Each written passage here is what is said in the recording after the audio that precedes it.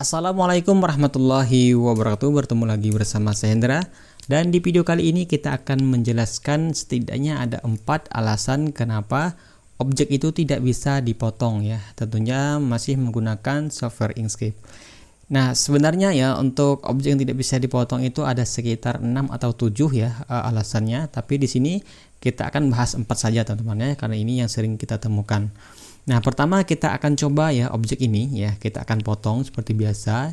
Ini adalah objek-objek yang akan kita uji ya. Kenapa objek seperti ini tidak bisa dipotong ya. Nah, ini bukan karena bentuknya teman-teman ya, tapi ada semacam elemen elemen-elemen yang membuat objek ini tidak bisa dipotong ya. Nah, sekali lagi bukan bukan uh, bentuknya teman-teman ya. Di sini kita akan potong objek warna pink ini ya menggunakan lingkaran misalnya seperti ini. Nah, untuk lingkaran ini kita akan ganti warna kuning biar lebih mudah dilihat ataupun warna Tosca seperti ini.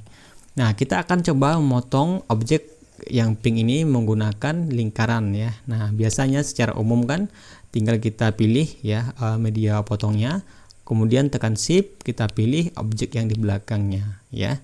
Lalu kita pilih menu part, lalu kita different. Tuh ya. Tidak bisa dipotong ya. Nah, Kemudian yang ini juga ya kita akan potong seperti biasa. Part lalu kita pilih different. Tuh. Juga tidak bisa ada potong. Kemudian ini sama ya, tidak bisa kita potong dan ini juga tidak bisa kita potong seperti ini.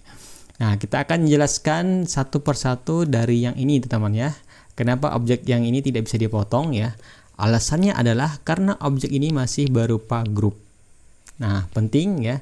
Jadi setiap objek yang masih uh, dalam keadaan grouping ataupun dalam keadaan grup, maka tidak bisa kita potong teman-teman ya. Menggunakan apa pun tidak bisa kita potong ya. Kecuali kita menggunakan set clip itu bukan memotong tapi kita membuat sebuah klip ya. Jadi kalau kita ingat waktu SMA itu kan clipping-clipping jadi semacam uh, hotspot ataupun apa ya titik kecil yang hanya terlihat ya di uh, media fokusnya saja ya. Nah, seperti itulah kira-kira teman-teman ya. Nah, caranya ya kalau kita ingin memotong objek ini dalam keadaan seperti ini, ya kita tes di sini menggunakan view lalu kita pilih split pip mode ya. Kita lihat tuh ya. Objek ini ada dua buah teman-teman ya, dua buah, maka tidak bisa kita potong ya. Caranya ini kita ungroup terlebih dahulu ya, seperti ini. Ataupun teman-teman juga bisa menggunakan klik kanan lalu pilih uh, ungroup tadi ya di sini ya. Nah, di sini karena belum kita grup ya. Coba kita grup dulu. Kita klik kanan, kita grup. Nah, sekarang kita ungroup klik kanan seperti ini. Oke. Nah, barulah objek ini bisa kita potong menggunakan lingkaran tadi teman-teman ya. Seperti ini.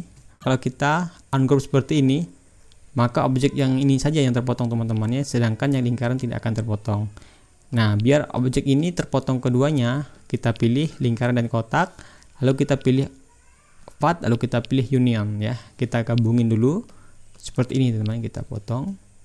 Part lalu kita pilih different. Tuh ya maka sudah terpotong. Oke. Okay. lalu yang selanjutnya ini kenapa tidak bisa dipotong teman-teman ya? Nah ini adalah karena objek ini tadi sudah kita jadikan uh, struknya menjadi part ya seperti ini. Kita akan potong. Ya kita buat seperti ini. Part lalu kita different. Nah tidak bisa dipotong kalau objek yang ini yang ada struknya dan juga ada pilnya sudah kita jadikan struktur part, jangan lupa teman-teman untuk di ungroup ya seperti ini.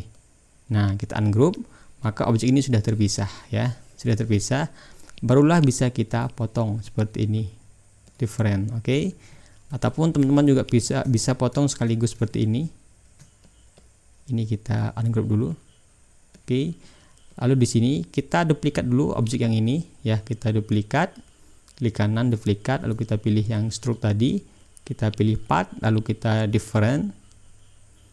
Nah seperti tidak ada kelihatan teman-teman ya. Lalu kita pilih seperti ini lagi. Kita different. Nah maka sudah terpotong ya. Oke.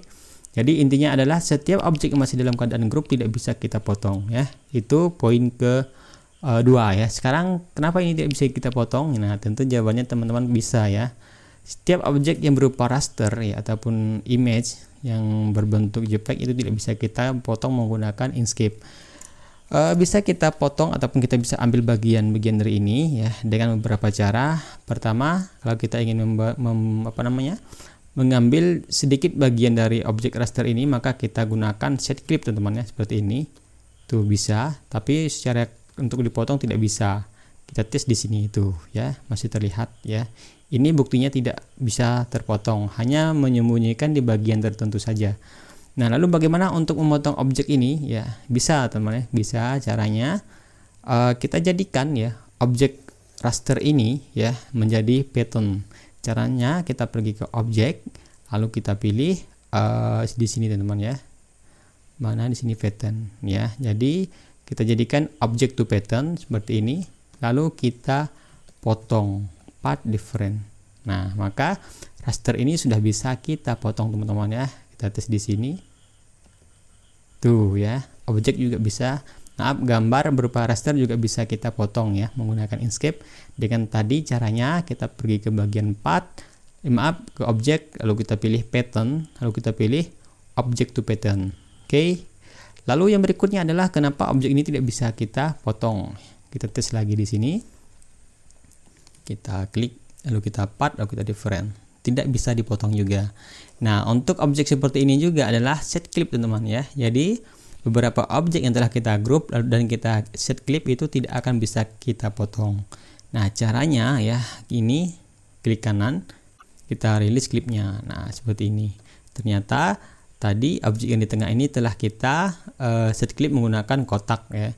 Nah, tadi untuk memotong seperti ini ya, tinggal teman-teman ya kalau misal apa namanya e, skala potongannya sama dengan objek yang ini 1 2 3 4 ya ini kita ungroup terlebih dahulu. Nah jadi teman-teman duplikat saja ya bagian e, acuan pemotong ini sebanyak objek yang kita butuhkan 1 2 3 4 maka ini kita akan duplikat menjadi empat saja. Karena apa? Kalau kita motong ya e, objek yang warna biru laut ini menggunakan circle ini maka objek yang ini akan hilang ya contohnya seperti ini. Tuh hilang ya. Jadi kalau kita ingin memotong objek ini seperti sama lingkarannya susah ya. Nah jadi teman-teman ya duplikat dulu ya sebanyak empat buah seperti ini. Saya menggunakan Ctrl D ya. Satu dua tiga empat ya. Jadi empat objek sudah tertimpa di sini ya kita unduh dulu. Nah kita different seperti ini. Oke. okay ini sudah terlihat ya sebenarnya. Kita pilih lagi yang di atas ya lalu kita pilih different lagi. Of di sini different. Yang biru lagi different. Dan yang terakhir adalah warna kuning different. Nah kita lihat maka sudah terpotong ya. Baiklah teman-teman ya, mungkin sampai di sini dulu video tutorial kali ini ya. Semoga membantu dan membuat teman-teman lebih bebas untuk berkreasi.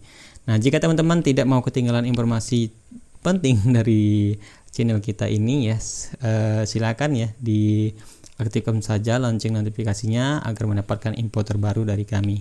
Baiklah, saya Hendra mengucapkan wassalamualaikum warahmatullahi wabarakatuh.